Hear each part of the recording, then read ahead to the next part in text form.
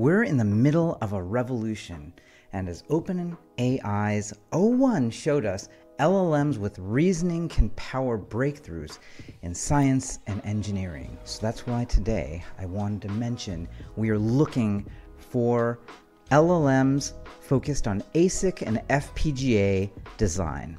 Design of customized digital systems has typically been costly because of the amount of custom design, development, and testing necessary to bring such a system online.